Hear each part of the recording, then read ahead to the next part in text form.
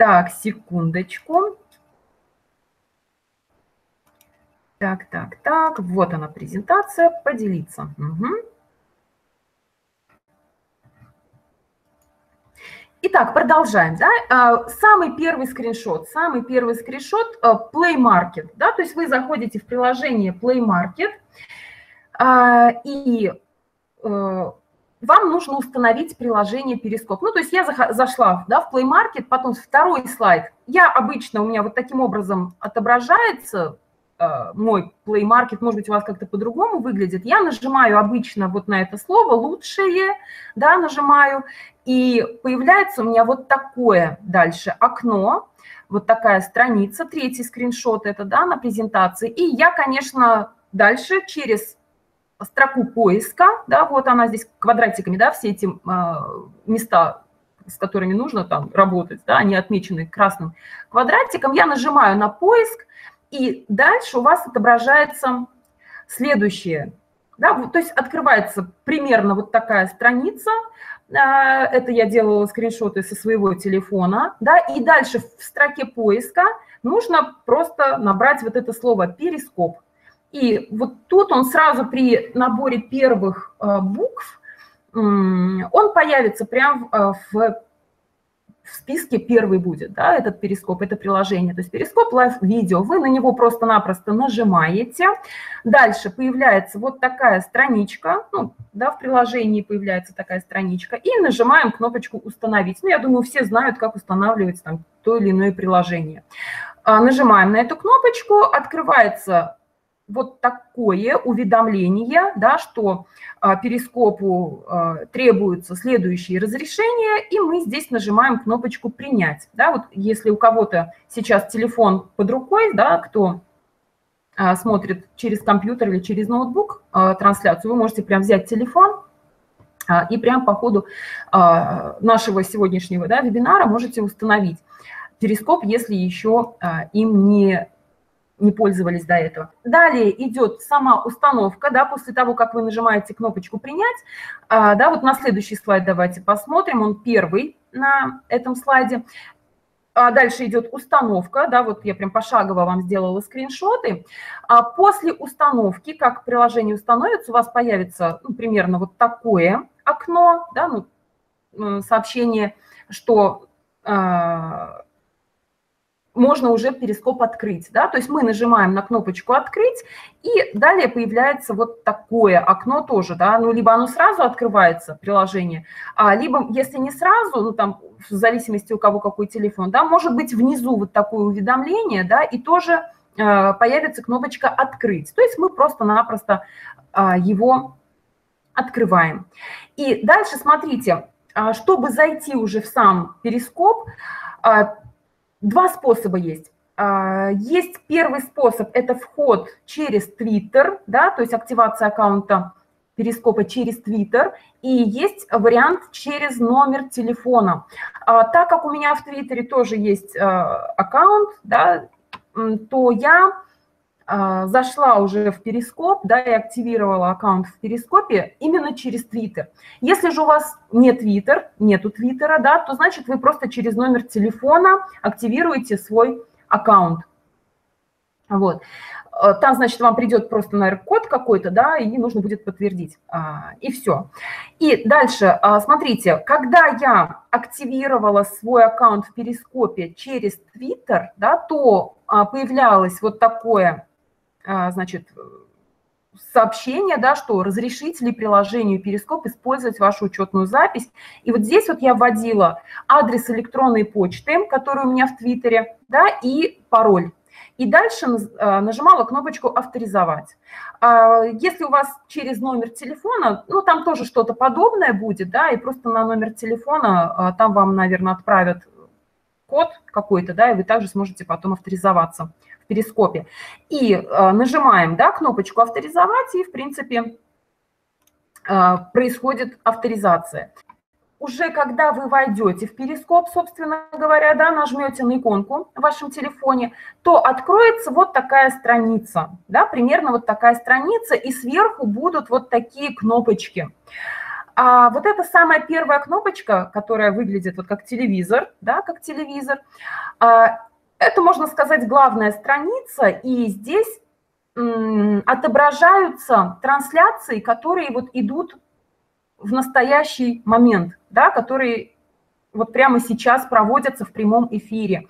И вот тут так получилось, у меня тут девушка какая-то, вот она э, написала «Коничева всем» с пятницей, это как раз сегодня, да, я скриншот тоже делала. Вот, потом, то есть э, на первой странице сначала идут популярные трансляции, да, то есть те трансляции, э, которые смотрят наибольшее количество человек на данный момент. Да? А дальше, если вы ниже еще прокрутите страничку вот эту главную, да, где телевизор вот этот нарисован, да, если эта кнопочка активна, то ниже тоже будут перечислены трансляции, которые уже прошли. А смотрите, когда трансляция заканчивается в перископе да, того или иного пользователя, то эта трансляция сохраняется в течение 24 часов. И после окончания трансляции в течение 24 часов любой человек может, в принципе, ее посмотреть. Да, и потом они удаляются. А, есть какой-то способ, а, когда можно сохранить себе на телефон да, трансляцию. Ну вот я, к сожалению, не помню, там какую-то специальную ссылку нужно вводить. А, не знаю, может быть, в интернете там попробовать поискать, там, как сохранить трансляцию в перископе, да, может быть, какую-то информацию найдете. Вот, я, к сожалению, вот сейчас не, не помню, а, что там, какую ссылку нужно вводить. А, итак, значит, как я сказала, да, на втором вот этом скриншоте, да, если мы ниже прокрутим страничку, то будет перечень трансляций, которые уже завершились, но которые вы можете тем не менее, посмотреть, просто нажав на видео, да, вот слева отображается тоже как бы картиночка видео, да, ну, либо на название самой трансляции, да, и вот тут вот перечень идет а, этих завершившихся недавно трансляций. Дальше, следующая кнопочка, вот такая, вторая идет, да, после телевизора, вторая кнопочка, это как бы такие полосочки с точечками, но тут тоже я на скриншоте отметила квадратиком. А если вы сюда зайдете, то здесь тоже идут трансляции в прямом эфире. Там, по-моему, отображается, если я не ошибаюсь, три трансляции, да, вот, которые идут прямо сейчас, и вы тоже к ним можете прямо сейчас присоединиться, но там они, э, вот любые могут отображаться, абсолютно любых пользователей, да, Э, если вам вас что-то зацепило в этих трансляциях, да, вы, конечно, можете нажать на них, да, и а, подключиться а, к этой трансляции. Вот. Если же вам не нужны эти трансляции, да, а мы с вами сказали, что искать японцев, да, японцев для общения, поэтому мы далее переходим на следующую вкладочку, это э, иконка планеты нашей, да, вот э, земного шара, нажимаем на нее, и тогда у вас открывается карта, ну, часть карты мира, да, вот, вот как сейчас у меня, да, на первом, а, значит, скриншоте на слайде.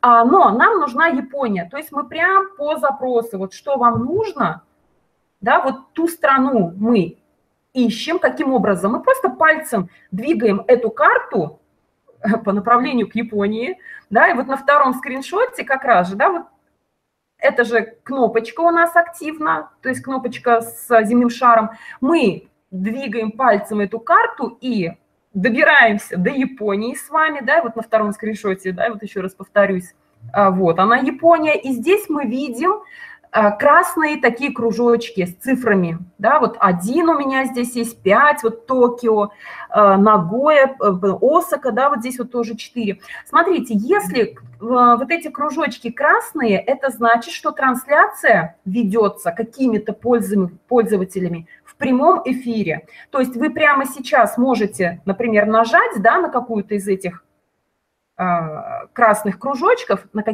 какой-то из этих красных кружочков, и вы попадете прямо вот в прямую трансляцию к пользователю какому-то. Ну, в данном случае у нас Япония, соответственно, вы к японцу в трансляцию попадете.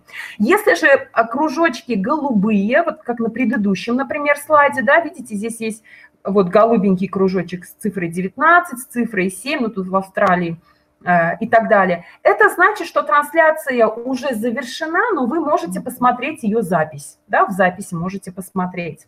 И дальше нужна прямая трансляция, да, мы, соответственно, можем пальцами раздвинуть карту, то есть масштаб, получается, увеличить, да, ну, то есть приблизить к себе а, там какой-то район, вот следующий скриншот, третий, да, это я как бы расширила карту, и вот в Токио, да, вот здесь вот красненький кружочек, да, и там циферка 2, то есть это значит, что два пользователя ведут какую-то трансляцию. Соответственно, я на этот кружочек нажала, да, вот выделен он у меня здесь тоже квадратиком, и появляется список пользователей, которые вот вещают на данный момент. Вы просто нажимаете на э, название трансляции, либо на картинку видео, да, либо на первую, там, либо на вторую, ну, то есть что вам зацепило, вот, нажимаете и, соответственно, переходите уже непосредственно, вернее, попадаете в саму трансляцию. И вот на следующем слайде первый вот этот скриншот, да, я нажала,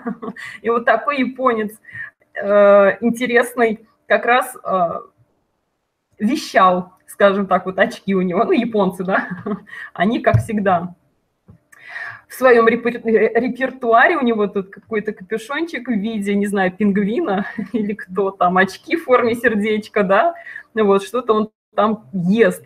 И внизу, внизу а, есть, значит, раздел или поле, где вы видите комментарии или вопросы других пользователей, которые тоже зашли в эту трансляцию, а также вот тут вот внизу в самом, да, а, тут, если вам видно, я не знаю, там написано «скажите что-нибудь». То есть в этом поле, в самом нижнем поле, вы можете свой вопрос на японском языке написать, соответственно. Ну или хотя бы на английском, там, да, если японским еще не очень хорошо владеете, можно попробовать написать на японском, но не знаю, японцы как-то считается, что они, ну, не, скажем, хорошо владеют иностранными языками, может быть, если вам повезет, да, и на английском языке, он поймет, что вы написали, ну, отлично, да, ну, конечно, лучше писать на японском языке, хотя бы какие-то простые фразы. А, и, возможно, да, он, что он вам ответит. То есть вот тут как раз прямая трансляция вот этого пользователя была, да, тоже сделала скриншот. А дальше, следующий э, скриншот. А здесь я нажала уже на э, голубенький вот этот кружочек, и, как я уже говорила до этого, если кружочек голубого цвета, это значит, что трансляция прямая закончилась, но вы можете посмотреть ее в записи. И при нажатии да, на этот кружочек, вот здесь число 10 написано, это значит, что 10 а, трансляций вы можете посмотреть. И трансляции велись из, вот в данном случае, из а, Синдюку, да, из района Синдюку. То есть тут и эти названия городов тоже, да, есть, и вы можете посмотреть, из какого города именно ведется трансляция. Хорошо, это что касается того, вот как вы можете легко и просто найти японцев. Э, на самом деле там по всей Японии очень много ведется трансляций. Вы можете зайти к одному пользователю, к другому пользователю, посмотреть, о чем он говорит, да, что он вещает, вот, ну и просто посмотреть, а, скажем так, на Японию, да, вот глазами японца а, ну и заодно пообщаться, познакомиться с ним. А дальше, ну, так как мы уже говорим про приложение Перископ, да, э, как найти японца, я думаю, вам понятно. И а, как, например, вы еще далее можете использовать перископ? А, вы можете, например, найти какого-то пользователя, если вы знаете, да, что вот он, он пользуется перископом, и а, может быть, это известный какой-то человек, да, вам, известно, э, вам интересно понаблюдать там за известным человеком, там тоже с ним как-то в перископе пообщаться, вы можете найти этого человека, попробовать поискать в перископе. Для этого мы нажимаем следующую э, вот эту кнопочку, да, где вот три человечка здесь а, изображено, и внизу появится а, кнопочка поиска, да, ну, лупа в кружочке тоже в таком. Вы на нее нажимаете, на эту лупу, а, и а, вводите дальше в поисковой строке, да, там название, ну или, может быть, имя и фамилию человека, да, можно тоже так найти. И, соответственно, появится там список да, вот с похожим именем, да, с похожим названием. Ну, у меня тоже есть аккаунт, конечно же, да, в Перископе, правда, я им так активно не пользуюсь, трансляции через Перископ э, не вела еще, тем не менее, вы можете тоже там посмотреть, кого-то поискать, да, там, если кто-то вам интересен.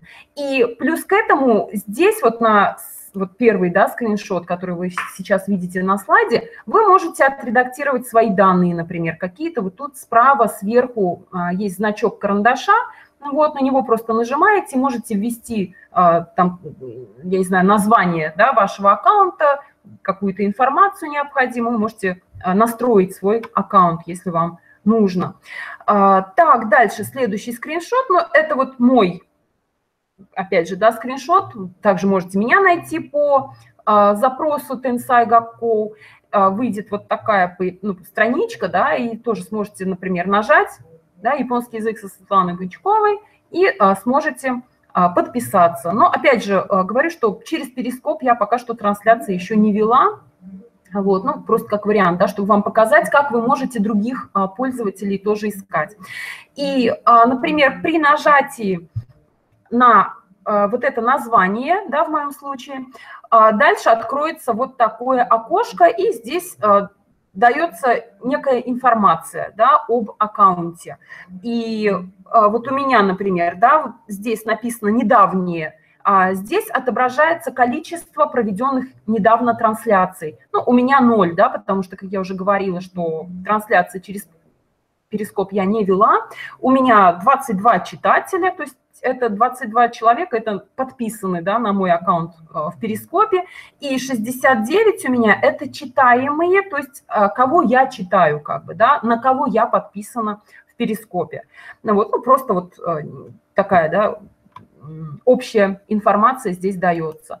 И дальше, так, здесь у нас что? Вы, конечно же, тоже сами можете запустить трансляцию. А каким образом? Вы можете а, вернуться на главную страницу, да, там, где телевизор изображен, да, вот, вот он у меня тоже выделен квадратным, квадратом красным, и внизу у вас вот такой кружочек красненький будет, да, со знаком, а, ну, значок фотоаппарата тут, да, или камеры, не знаю, и просто нужно нажать вот на эту кнопочку, да, справа внизу. И тогда у вас откроется вот такая страничка, да, это второй скриншот. И вы а, можете сделать эту трансляцию либо доступной для всех, абсолютно для всех, да, либо вы можете а, сделать трансляцию доступной для определенной группы. То есть вы создаете группу, но там уже понятно, да, там при нажатии вот сюда на вот этот треугольничек, да, там выпадет список, и будет написано там сделать трансляцию общедоступной или сделать трансляцию доступной для определенной группы людей. Ну, например, вы не хотите, чтобы все в мире могли да, вашу трансляцию посмотреть, значит, вы просто ограничиваете э, доступ для определенной группы. И все. И дальше просто нажимаете кнопочку «Начать прямой эфир» и запускается прямой эфир э, вашей трансляции, и ее тоже могут смотреть, тоже другие пользователи Перископа могут к вам подключаться, там писать какие-то вопросы и так далее. А, вот, в принципе, и все.